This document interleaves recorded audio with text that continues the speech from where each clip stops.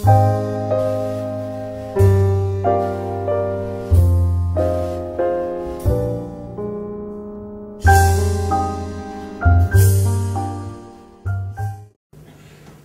vamos a conversar un poquito sobre la relevancia de la empatía en el acto docente. El docente, si quiere llegar al alumno, debe ser necesariamente empático. Un docente que lee, que dicta la materia, ¿eh? Que baja la vista y empieza a leer, no se da cuenta todo lo que está poniendo en juego, esta es las jornadas anteriores. No se da cuenta todo lo que está poniendo en juego o dejando de poner en juego.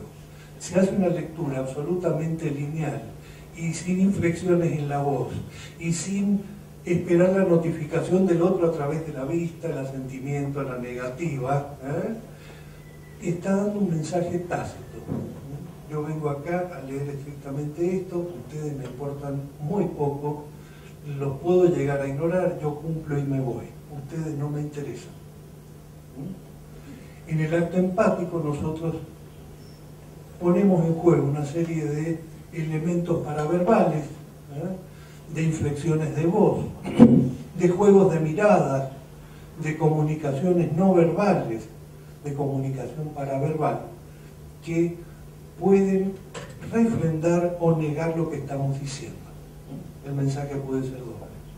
Hoy vamos a hablar de un tema bastante importante, la empatía. Ya les dije, el tema vale para muy poco, que es muy poco interesante.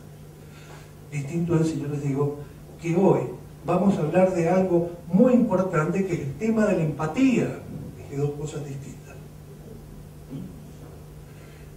El tema este de la empatía, encima funciona el láser, ¿qué les parece? Este tema de la empatía es iniciado nada más y nada menos que por Edith Stein, discípula de Husserl. Eh, de origen hebreo, muere en un campo de concentración. Me hace acordar la historia de Naomi, tiene un final triste. Y fue la discípula de Husserl que permitió que las obras de Husserl se, eh, se conservaran, porque era bastante desordenado, te voy a enseñar. Y ella, inicialmente su secretaria, después su tesista, además de hacer su tesis doctoral sobre la empatía, permitió que toda la obra de Husserl se salvara. No poco mérito reciente Juan Pablo II la canoniza y la hace patrona, se hizo carmelita en su momento, eh, se hizo monja, se convirtió al cristianismo y eh, Juan Pablo II la canonizó y la nombró protectora de Europa. Una historia interesantísima, una mujer brillante, inteligente, dedicada. ¿eh? Ella es quien se plantea, y no es casualidad, esta importancia de comunicarse con el otro. Ella es quien plantea en su tesis doctoral, Über Empathie, sobre la empatía, se conserva casi entera, en algunos capítulos que están perdidos, y eh, da algunas definiciones, entre otras cosas, de la vivencia, que es un poco el eje del trabajo de Husserl, que son eh, realmente interesantes para el que se inicia. Ella habla sobre empatía. ¿Qué es la empatía?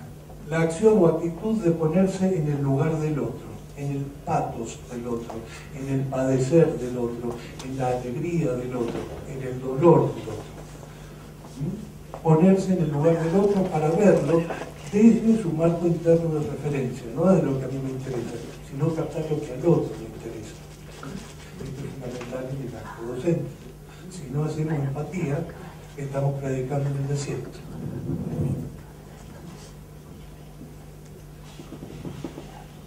es una capacidad para entenderse, relacionarse y reaccionar frente a los demás.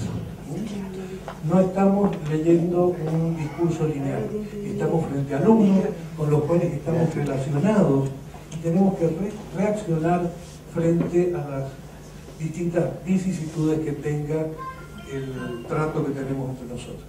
Hay un grado diferente entre diversos individuos y obviamente esto de la empatía tiene relación con el altruismo, ¿eh? con el pensar en los demás, el reconocer esta alteridad, este carácter del otro en cuanto tal, nos ayuda a actuar por sentimientos profundos de altruismo. Hay indudablemente personas que pueden ejercer la empatía o pueden tener un contacto empático más fácilmente por razones disposicionales. ¿eh? Una persona muy tímida va a tener alguna dificultad, una persona demasiado extrovertida que no registra el otro también. Hay diferencias disposicionales, pero hay una experiencia que puede irse haciendo. Y de hecho, no tenemos la misma capacidad empática cuando damos la primera clase que cuando llevamos ya varios años en el ruedo. En la primera clase estamos generalmente eh, muy asustados porque puede quedar algún contenido que puede ser preguntado y después nosotros no lo dimos en clase y no quedó claro si nos preocupamos mucho más por el contenido. Y con los años vamos viendo qué importante es registrar lo que el contenido produce en un alumno, porque de eso va a surgir el recordar esa clase o no.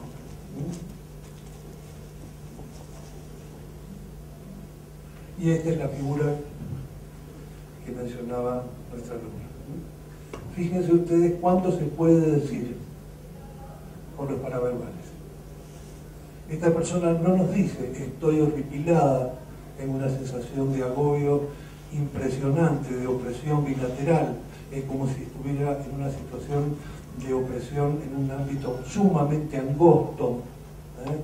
Tengo angustia, tengo horripilación, me da pánico lo que estoy viendo, tengo deseos de gritar.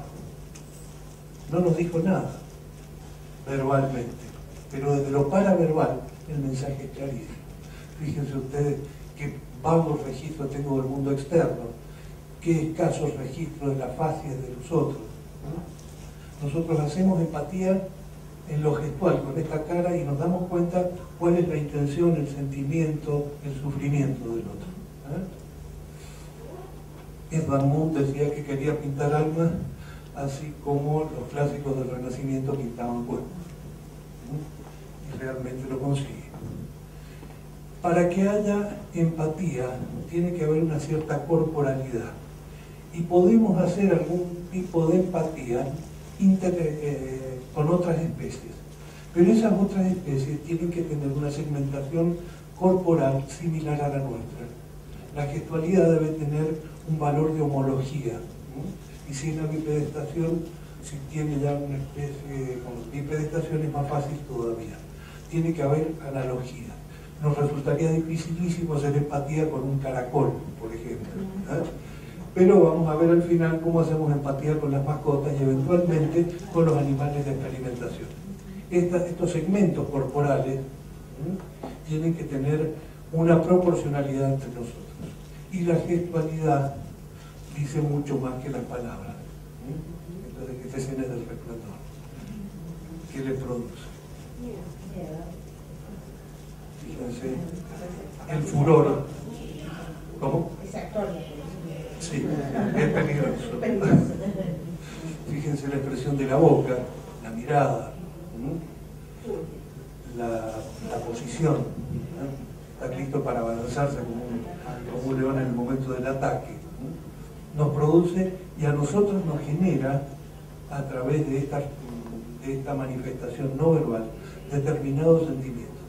Cuánta razón tenían los clásicos de la fenomenología existencial cuando decían que había que analizar la vivencia que producía el otro en nosotros para llegar al diagnóstico. ¿Eh? Nos hacen un relato, nos cuentan algo y quedamos perplejos. ¿Eh? puede ser una esquizofrenia. Otra persona nos deja demasiado contento, puede ser una manía o una hipomanía. Otra persona nos deja con una sensación de dolor, de pesar, queremos tirar por la ventana después de escucharlo, que es un depresivo. La importancia de registrar lo que el otro produce en nosotros, la capacidad de hacer empatía, tanto más con los alumnos. ¿eh? Y esto eh, es una imagen que generalmente pongo para hacer un experimento.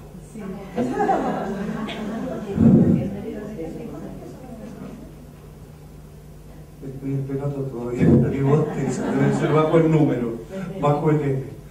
Cuando lo hicimos había 800 personas en Chile, empezaban a hacer una cadena de bostezos una tras de la otra. Fíjense, lo que pasa es que cuando nosotros, que ahí empezamos con lo de eh, empatía y neuronas en espejo, hoy sabemos que cuando nosotros integramos una determinada, eh, un determinado acto de los otros, un determinado gesto de los otros, hay unas neuronas que se prenden como si estuvieran frente a un espejo. A esas se llaman neuronas en espejo. Eh, el descubrimiento de estas por Galese y por Rizzolatti fue aparentemente casual, como la manzana de Newton. ¿eh? También fue casual, no. Fue casual que cayera la manzana, fue casual lo que les ocurrió a ellos, pero una cabeza atrás explicando el fenómeno no eh, es frecuente que cada vez que cae una manzana alguien eh, dibuje o genere una hipótesis general sobre el universo. Si no, con cada manzana tendríamos una hipótesis. que ocurrió a Newton. Acá también. Acá también. Estaban haciendo un experimento con los electrodos puestos en un monito, en el cerebro de un monito, que era premiado cada vez que hacía una tarea resulta que cuando va a, darle la recompensa al experimentador, porque ha ejecutado bien la tarea del monito, con el electrodo puesto en la zona motora, corta la banana y hay una espiga, hay una descarga de esa neurona motora. Pero como cortar la banana, uno está quieto. Vuelve a cortarlo y vuelve a descargar esa neurona motora frente a cada acto motor del experimentador, había un correlato que consistía en una espiga en el monito. Y eh, se activaba como si el monito fuera, la zona motriz, como si el monito fuera el que tenía que cortar la banana. Había una correspondencia corporal y el monito se ponía en el lugar del experimentador. Esas son las neuronas en espejo. Estas,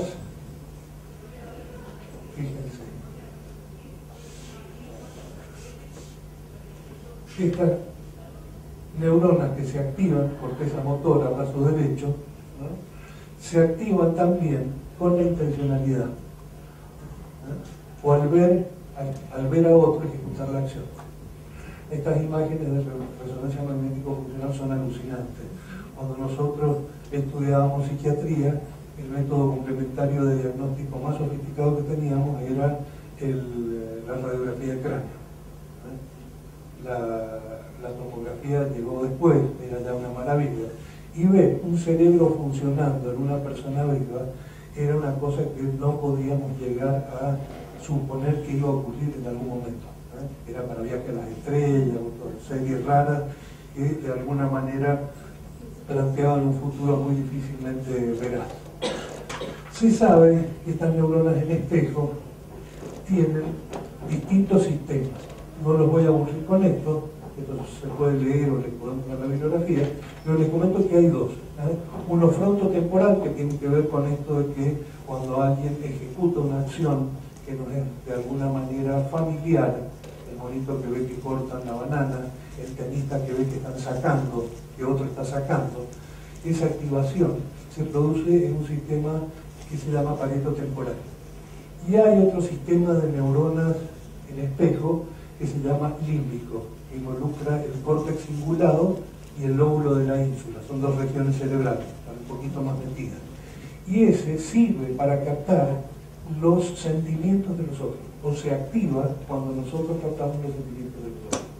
Es la zona cerebral que más se activa. ¿Mm? Entonces, con uno podemos tener alguna, eh, alguna correspondencia con lo motriz, y con el otro tenemos cierta correspondencia con la gestualidad del otro. Quiere decir que a través de los gestos activamos la corteza de los alumnos. ¿eh? Si nosotros nos emocionamos con lo que estamos diciendo, ¿eh? emocionamos al alumno y le damos una cue, una llave adicional para rescatar a través del sentimiento un determinado contenido. O bien se fije ese contenido con una carga afectiva que lo hace más difícilmente olvidar. Si no conseguimos emocionar a los alumnos, si leemos linealmente y formamos un acorde, como si fuéramos eh, un robot, probablemente de esa clase se olvida. Y hay hay temas que emocionan más y temas que emocionan menos. Cuando damos farmacología siempre trato de darles algo de historia, porque la hace más humana y porque relacionan entonces con variables que son de alguna manera biográficamente menos neutras que una fórmula. Y en eso hay que tratar de transmitirlo con cierta fuerza. La historia en general motiva mucho más que la fórmula. Me acuerdo uno de los chicos míos una vez nos dio una clase de historia y era de aburrida. ¿De qué historia? Historia antigua. ¿Cómo hicieron para que fuera aburrida? Hay que arreglársela. Bueno, acá tienen distintas imágenes que muestran que este sería el sistema temporal, más activado, menos activado. El lóbulo de la ínsula está aquí adentro, hay que levantar o abrir el cerebro sin necesidad de producir daño, está como ubicado en profundidad. Bueno, esta es la parte cerebral, estas son las neuronas en espejo, aquí hay una simulación y aquí hay una ejecución. Fíjense que son las mismas zonas cerebrales las que se han activado. Si nosotros hacemos o pensamos en hacer una determinada acción o ejecutamos, es lo mismo la zona cerebral que, eh, se activa. Hay además potenciales de apretamiento, ya vamos a ver mañana, pero confundidos causalmente como eh, generadores del pensamiento posterior, concretamente por Guillet vio que había una determinada onda que precedía a la intención. Después con el tiempo se ha visto que el potencial de apretamiento, una onda de atención para decidir y no un generador de decisión. Fíjense aquí, el chico se lleva un caramelo a la boca, el mono lo hace también. Aquí hay una empatía interespecífica, no intra sino interespecífica. Y si se fijan bien, los segmentos son bastante parecidos. ¿Ah? Aquí está tomando este chico con la jeringa, el mono toma con la jeringa. Morro, morro. ¿Ah? Hay una limitación. Esto también es la base de la transmisión de la gestualidad, que acá es interespecífica, intraespecíficamente, la gestualidad de la madre va moldeando la expresividad del niño. El cara a cara con la madre cuando todavía no sabe hablar, cuando empieza a enseñarle la palabra, primero es lo gestual y después lo simbólico. Por eso es tan importante para el desarrollo afectivo del niño el contacto con la madre. La oralidad después, porque le va a dar la sabiduría de la vida. Iniciamos con el contacto empático y el contacto cara a cara uno frente al otro. Fíjense, el monito toma la banana, la espiga. La investigadora toma la banana y hay una espiga un poquito más baja, pero hay una espiga. ¿Ah? Este es el principio de las neuronas en espejo. Acá fíjense la empatía entre una monita y una investigadora. La de camisa es la investigadora.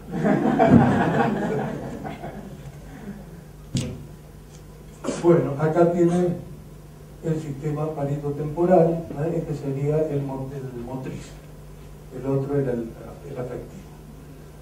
Ya como Risolati, que yo creo que él y Galese, por todo lo que implica el descubrimiento de las neuronas en espejo, deberían recibir el Nobel, porque de tener, y lo vamos a ver mañana, una eh, visión cognitiva, experimental y de alguna manera de espaldas a la antropología, el estudio del cerebro, pasamos a ver la importancia que tiene el contacto con el otro aún en el desarrollo del cerebro.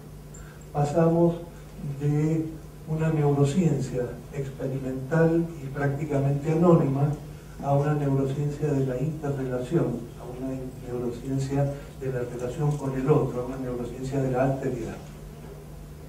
Acá lo tenemos este buen hombre, parece que esta mañana, esta mañana no se había reinado, acá pensando. Y estos son algunos circuitos que tienen que ver también con la, eh, con, la emocionalidad y con el buen funcionamiento del cerebro.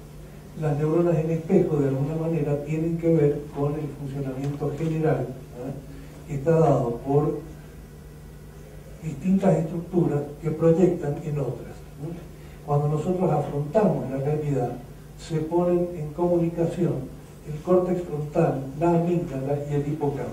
El hipocampo da las claves contextuales. la amígdala, la facilitación afectiva, algo nos motiva, nos lleva a ver tal o cual cosa. Y el córtex frontal va a permitir las conductas dirigidas a un fin. Cuando nosotros vemos al otro, eso tiene una carga afectiva y nos, decidimos o no a hacer una determinada acción a través del córtex frontal. No les voy a... Esos circuitos están vulnerados en algunas enfermedades, no les quiero complicar la cosa, tales como la esquizofrenia. Hay un problema para, eh, para captar empáticamente la situación del otro que tiene que ver con una disfunción de esos circuitos. No les voy a hacer la cosa más, más complicada. La empatía es importantísima, por todo lo dicho, en el proceso de aprendizaje. En este proceso de aprendizaje, la vibración que da un docente a su clase teórica, de alguna manera es un índice de la importancia real y existencial que ese tema tiene en su biografía. Si yo les digo que les voy a hablar de lo que hace 30 años estamos investigando, ¿eh? Que es el tema de los receptores de glutamato y las bases de la psicosis esquizofrénica, que puede permitir ayudar y conseguir nuevos tratamientos para una enfermedad que es realmente dolorosa. Es distinto la que les diga que, bueno, vamos a hablar de eh, algunos temas, esto de los psicofármacos, la psicosis. La presunción que se genera a partir de esa diferencia de entonación es que para el primero si es un tema que lo apasiona y ha gastado en él 30 años de su vida, es porque el tema debe ser importante. Para el otro, que nos lo dice con la cara lavada y sin ninguna gestualidad con un relato que de alguna manera ignora el impacto que producen los demás, y parece ser un tema más, debe ser una macana que le preguntan en el examen. Porque los chicos son estratégicos. Se dan cuenta inmediatamente. a este, si no le estudias esto, te da vuelta en el examen. En cambio, si otro tema se ve que no, le interesa ni a él. ¿Por qué? Por la forma en que lo dijo. No por lo que dijo, sino por la forma en que lo dijo. Pero ¿cómo? Si dijo que era importante, ¿viste la cara que decía que era importante? Nadie le creyó. Bien. ¿Cómo? Ya toma, para que no se lo toma el tema.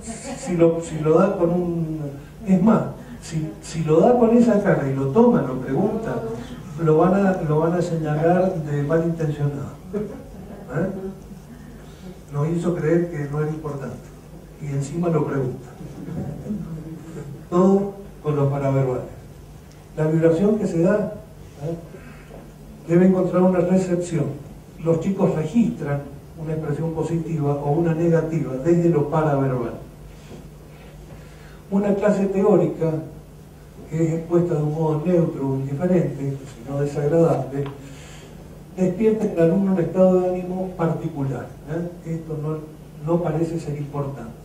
Una clase teórica de un tema que apasiona al docente da un mensaje tácito de la relevancia de ese tema en la materia.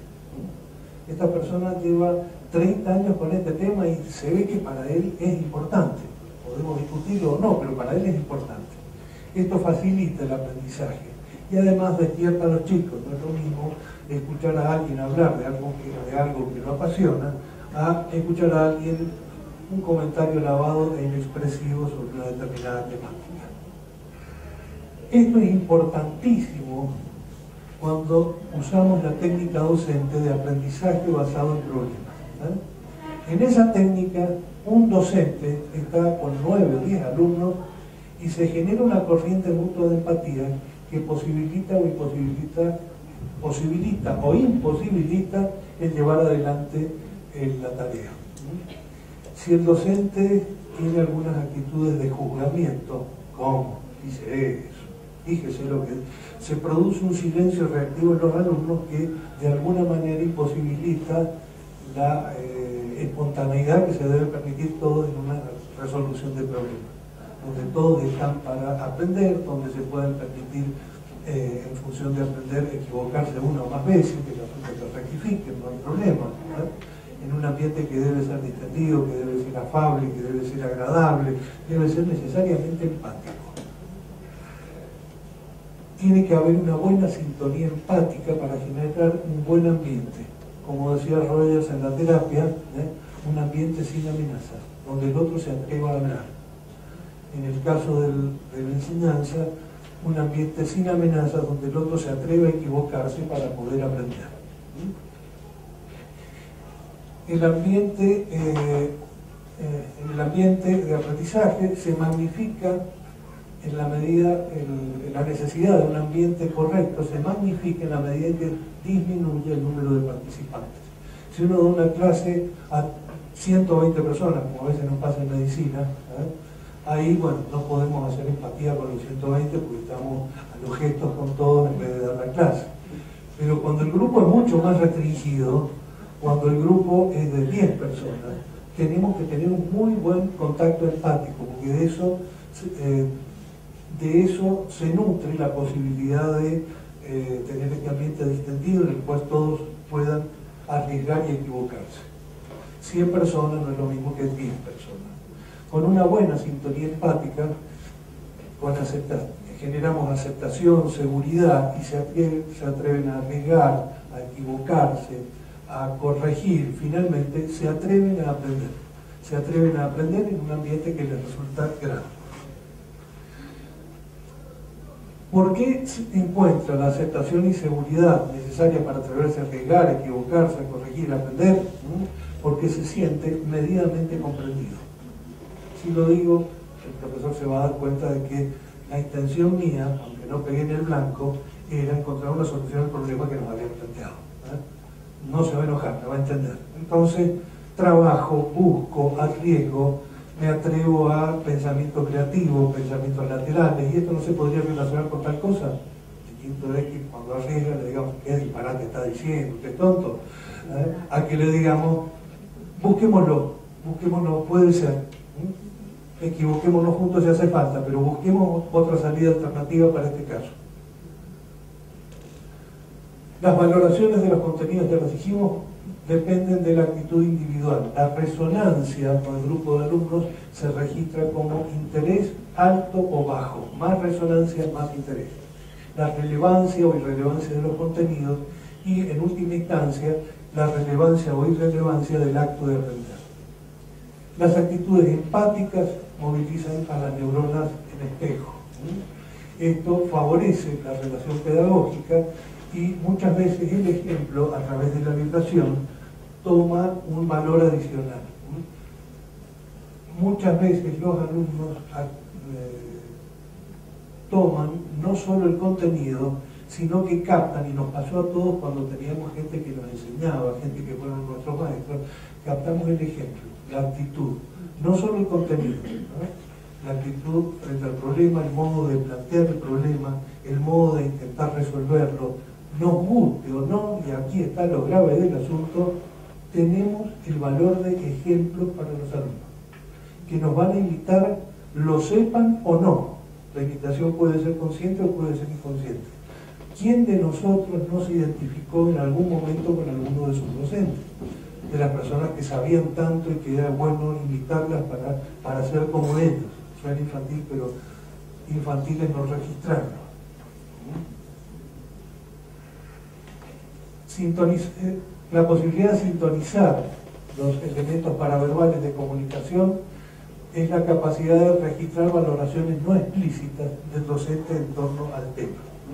En la medida en que soy consciente de todo lo que me está diciendo con la cara y los brazos, además de con la voz, todo lo que me está diciendo con las inflexiones de voz, además del contenido, todo aquello que no queda incluido en el PowerPoint que les voy a pasar, ¿eh? todo eso le da algunas cualidades al relato que hacen que sea más o menos olvidado.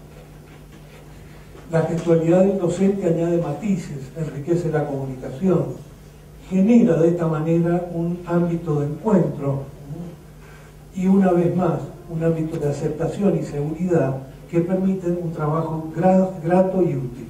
Nos sentimos bien trabajando, nos da ganas de trabajar con este docente o no nos da ganas de trabajar con este docente y eso condiciona las posibilidades de hacer un buen trabajo. Actitudes de entusiasmo responden siempre a motivaciones profundas. Si el docente vibra, se entusiasma cuando empezamos a ver este caso, es señal de que hay una motivación profunda en este tema. Esa motivación profunda se transmite a los alumnos y se transmiten los sentimientos a través del contacto empático. Acá hay una diferencia que me gustó mucho en Chile porque es de un autor chileno, que es un psiquiatra brillante, Armando Roa, que tuvimos el honor de conocerlo muchos años atrás. Eh, él decía que había dos tipos de lenguaje en la entrevista psiquiátrica, el comunicativo y el notificativo. En lingüística a veces lo entienden al revés, pero en clínica psiquiátrica lo, lo, planteaba así. El comunicativo, cuando hay una comunicación de contenidos y el contenido tiene un determinado valor. Y el notificativo, cuando estoy diciendo algo estoy buscando la notificación del otro, el gesto, la cara, ¿eh? cuando estoy tratando de percibir en el otro qué es lo que le despierta lo que estoy diciendo. Y me lo notifica a través de paraverbales. Es el, el docente, si quiere mantener a todo el grupo de alumnos despiertos, tiene que utilizar necesariamente un lenguaje notificativo, estar pendiente de la notificación del otro. Esto es importante aún en las clases teóricas. ¿eh? cuando vemos que empieza a cabecear uno, a ver, ¿qué fue lo que dije?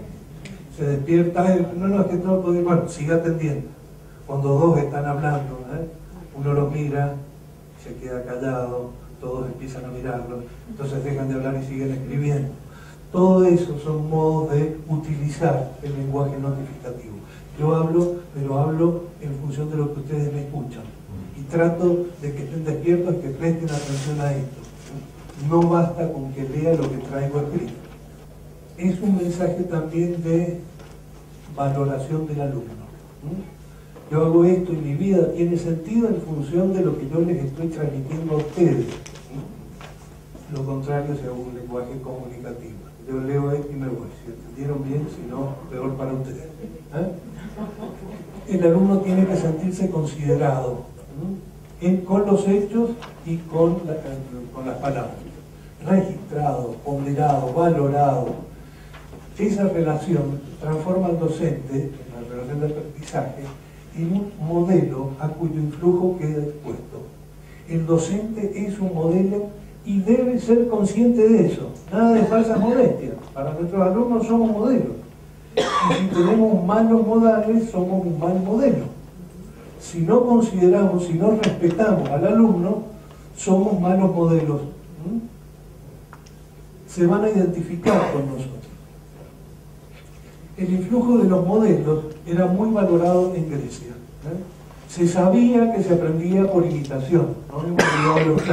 La identificación de los héroes del país y la nobleza de los poemas épicos era el rasgo fundamental de una educación elemental, eh, fundamentalmente aristocrática por su valor ejemplificador. El héroe era el ejemplo. Había que ser como el héroe.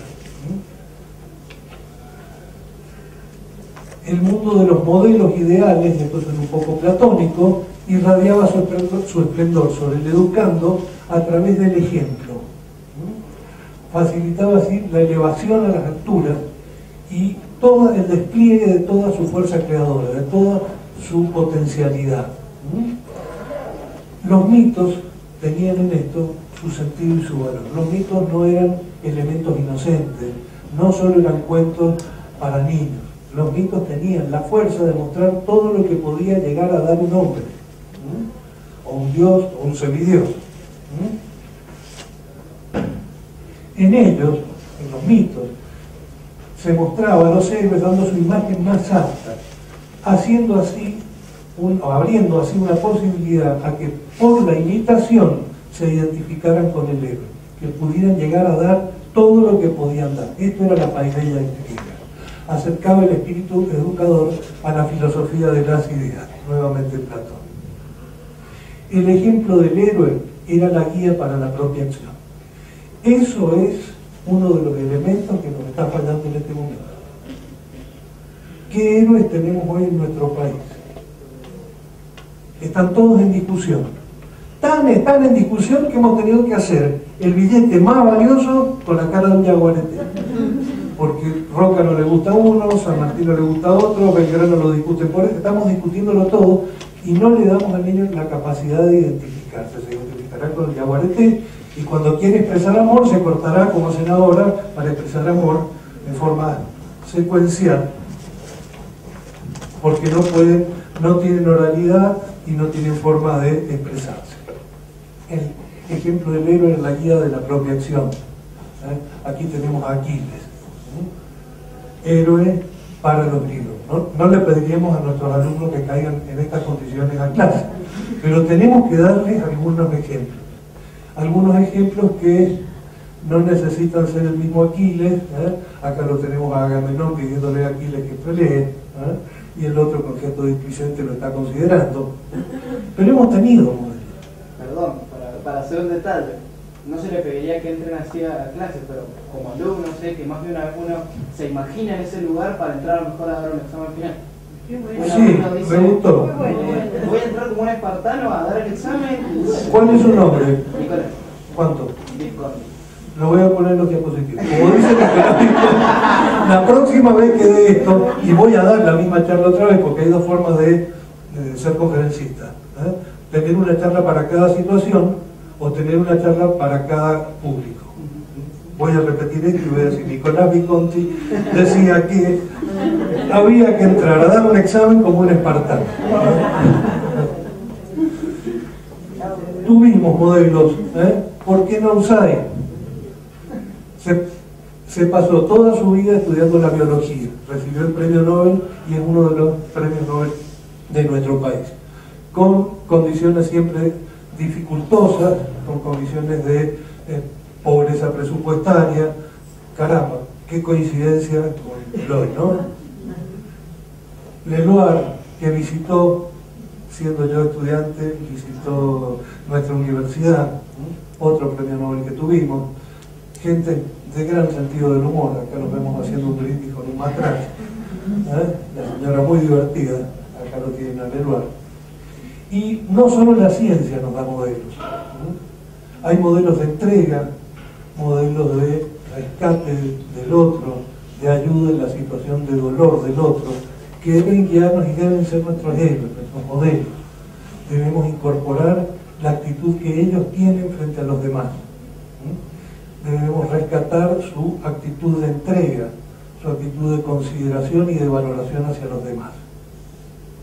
El docente, lo quiera o no, además del maestro, es el guía del alumno hacia el heroísmo. Debe despertar la vocación por el heroísmo, por la entrega a su trabajo, por la entrega responsable a su trabajo en el otro. Debe conducir el docente al alumno a lo mejor de sí mismo. De ahí la importancia de la empatía. No solo leemos lo que traemos escrito, no solo damos clases teóricas. ¿Algunos de ustedes saben lo que es una clase teórica? Un flujo de información del cuaderno del profesor al cuaderno del alumno sin pasar por el cerebro de ninguno de los dos. Bueno, tenemos que dar más que eso. Tenemos que despertar el heroísmo en nuestros alumnos. Debemos hacer que el alumno dé lo mejor de sí mismo. El docente debe conducir al alumno a acceder, como nos dice Bernardes, eh, Francisco Luis Bernardes, a ese aire que por encima de la carne se respira, al espíritu nuestra universidad tiene en su, en su escudo, ¿eh? tiene espíritu religiosa. En el espíritu reside la vida. El docente debe hacer de cada momento de enseñanza una experiencia como la que nos dice Alfonsina Storni en un momento de enamoramiento, de esas que nos dejan el alma envejecida de haber vagado unos instantes. Lo que hemos hablado constituye el capítulo 3 de este libro. Esta, lo puedo pasar si no lo... Y algún esfuerzo adicional que estamos haciendo con otros libros en curso, este es el último que, que hicimos, en el cual rescatamos toda la parte humanística dentro del marco de la psiquiatría, porque esta esta cuestión de eficientismo y de eh, transmisiones a nivel eh, humano o espiritual se plantean bastante en la psiquiatría, en la cual curiosamente no se es eficiente si se olvida la parte humana. En ese libro tenemos una cuarta parte dedicada a filosofía y antropología. Bueno, nuevamente tenemos que ser empáticos. Fíjense, hasta los monos son empáticos. ¿Eh? Fíjense acá cómo todos están estudiando atentamente, identificándose con el disector. Si los monos pueden, ¿por qué los docentes no? Muchas gracias. O en otras palabras, muchas gracias.